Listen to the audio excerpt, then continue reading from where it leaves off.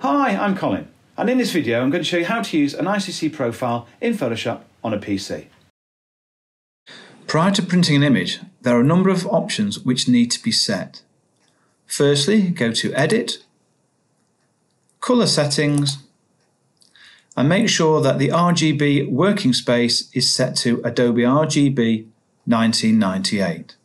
Click OK. Then File, Print,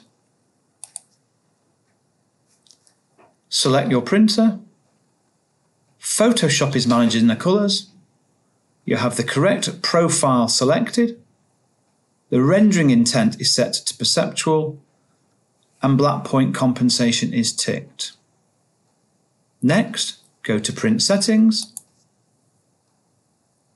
Make sure that you have the correct media selected and that the colour adjustment is off. Click OK and you are now ready to print.